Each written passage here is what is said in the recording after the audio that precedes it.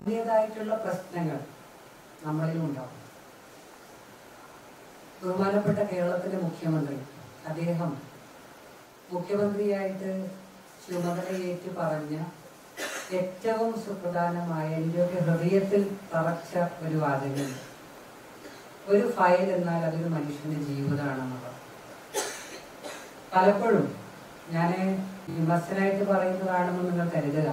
പലപ്പോഴും അങ്ങനെ പറഞ്ഞിട്ട് പോലും ഒരു ഫയൽ എന്റെ കയ്യിലുള്ള ഒരു ഫയൽ ഒരു മനുഷ്യന്റെ ജീവിതമാണ് എന്ന് എത്ര പേർക്ക് തോന്നിയിട്ടുണ്ട്? പത്തും പതിനഞ്ചും പ്രാവശ്യം നമ്മുടെ ഓഫീസിൽ കയറി ഇറങ്ങുന്ന മനുഷ്യൻ. അവരങ്ങനെ വന്നു പോകുമ്പോൾ ആ മനുഷ്യന്റെ സ്ഥാനത്ത് ഞാനായിരുന്നു എങ്കിലെന്ന് ഒരു തവണയെങ്കിലും എല്ലാ ഉദ്യോഗസ്ഥന്മാരും ഓർക്കണം എന്നുള്ളതാണ് ഇപ്പം നിങ്ങളോട് അഭ്യർത്ഥിക്കാനുള്ളത്. മറ്റൊരു കാര്യം ഒന്ന് വളരെ സുതാര്യമായിട്ടുള്ള സംവിധാനങ്ങളുള്ളൊരു കാര്യം. സുതാര്യം എന്ന് പറഞ്ഞാൽ ഒരു രഹസ്യവും നമുക്കാർക്കും ഇല്ല ഞാനും ഈ ഫോണിൽ സംസാരിക്കുന്നത് പോലും പലർക്കും കേൾക്കാന്നാണ് പറയുന്നത്. ഞാൻ വിചാരിക്കുന്നത് ഞാൻ കലക്ടർ വിളിക്കുമ്പോൾ ഞാനും കലക്ടർ മാത്രമേ അറിയൂ. ഞാൻ നിങ്ങളോട് സംസാരിക്കുന്നതിന് അപ്പുറത്തുള്ള ആളുകൾ മാത്രമേ അറിയൂ. അങ്ങനെയല്ല. ഇതിനപ്പുറത്തേക്ക് ഒരുപാട് ആളുകൾ കേൾക്കുന്നുണ്ട്. നമുക്ക് ചുറ്റും ഒരുപാട് കണ്ണുകളുണ്ട് എന്ന് തീർച്ചയായിട്ടും നമ്മൾ വിശ്വസിക്കണം.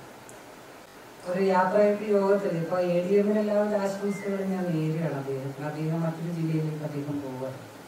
ഞാൻ അദ്ദേഹത്തെ മുൻപ് മുൻ എ ഡി എം ഉണ്ടായിരിക്കുന്ന സമയത്ത് എനിക്ക് തോന്നുന്നു നിരവധി തവണ പഴയ എ ഡി എം ആയിട്ട് ഇങ്ങനെ വിളിക്കും പറയുകയും ചെയ്യേണ്ട ഒരു സാഹചര്യം ഉണ്ടായിരുന്നു. പക്ഷെ ഇദ്ദേഹം വന്നപ്പോൾ അങ്ങനെയൊന്നും സാഹചര്യങ്ങൾ എന്റെ മുന്നിൽ അധികം വന്നിട്ടില്ല.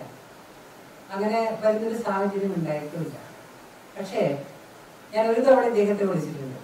ആ ഒരു തവണ വിളിച്ചിരിക്കുന്നത് ചെങ്ങളായിലെ ഒരു പെട്രോൾ പമ്പിന്റെ എൻ ഒ സിയുമായിട്ട് ബന്ധപ്പെട്ടത്. നിങ്ങൾ ആ സൈറ്റ് ഒന്ന് പോയി നോക്കണം. ഞാൻ ഒരു പ്രാവശ്യം വിളിച്ചു രണ്ട് പ്രാവശ്യം വിളിച്ചു. അപ്പോൾ ഒരു ദിവസം പോയിട്ട് ആ ഞാൻ സൈറ്റ് പോയി നോക്കിയിട്ടുണ്ടെന്ന് പറഞ്ഞു. ആ സംരംഭകൻ എന്റെ മുറിയിലേക്ക് പലതവണ വന്നു. തീരുമാനം ആയിട്ടില്ലല്ലോ പ്രസിഡന്റ് എന്ന് പറഞ്ഞു.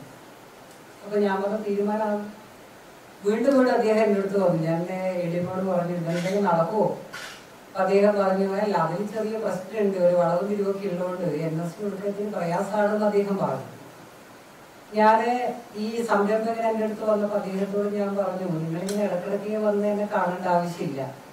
ഞാൻ ഒന്നോ രണ്ടോ തവണ അദ്ദേഹത്തോട് ഈ കാര്യങ്ങൾ പറഞ്ഞു കഴിഞ്ഞു. നിങ്ങളെ സഹായിക്കണം ഒരു തടസ്സവും അതായത് ഒരു ബുദ്ധിമുട്ടും ഇല്ലെങ്കിൽ ഒരാളെ ഒരു സെക്കൻഡ് വെച്ച് സഹായിക്കുന്നവരാണ് നമ്മളെല്ലാം. എന്ന് പറഞ്ഞു. മാസങ്ങൾ കുറച്ചായി. ഏതായാലും കഴിഞ്ഞ ദിവസം ഇദ്ദേഹം പോകുന്നത് കൊണ്ട് അദ്ദേഹത്തിന് എൻ ഒ സി കിട്ടിയെന്ന് പറഞ്ഞു. ഏതായാലും നന്നായി. ആ എൻ ഒ സി എങ്ങനെ കിട്ടി എന്നുള്ളത് എനിക്കറിയാം. ആ എൻ ഒ സി കൊടുത്തതിന് അദ്ദേഹത്തോട് പ്രത്യേക നന്ദി പറയാനാണ് ഞാനിപ്പോൾ കഷ്ടപ്പെട്ട് ഈ സമയത്ത് നമ്മുടെ പരിപാടി പങ്കെടുക്കുന്നത് ഒന്ന് ജീവിതത്തിൽ സത്യസന്ധത നമ്മൾ എപ്പോഴും പാലിക്കണം.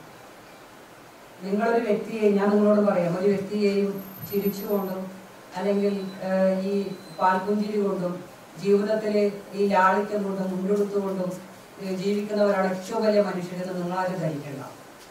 അങ്ങനെ ആരും ധരിക്കേണ്ട.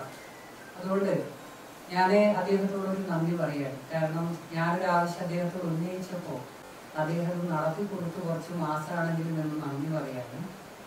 കണ്ണൂരിൽ അദ്ദേഹം നടത്തിയതുപോലെ ആയിരിക്കരുത്. അദ്ദേഹം പോകുന്ന സ്ഥലത്ത് നടത്തേണ്ടത്. കാരണം ഇതുപോലെ ആയിരിക്കരുത് അദ്ദേഹം അവിടെ നടത്തേണ്ടത്.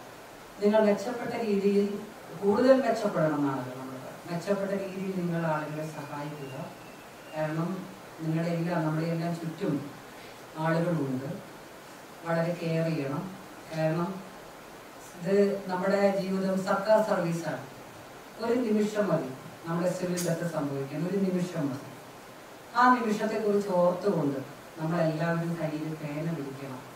എന്ന് മാത്രമാണ് ഞാൻ ഇപ്പം നിങ്ങളോട് പറയുന്നത്. ഒരു രണ്ട് ദിവസം കാത്തിരിക്കണം. ഇത്രമാത്രം പറഞ്ഞുകൊണ്ട് ഞാൻ ഇവിടുന്ന് ഇറങ്ങും. മറ്റൊന്നുമല്ല ഉപഹാരം സമർപ്പിക്കുന്ന ഒരു സമയത്ത് ചടങ്ങിൽ ഞാൻ ഉണ്ടാവരുത് എന്ന് ഞാൻ ആഗ്രഹിക്കുന്നുണ്ട്.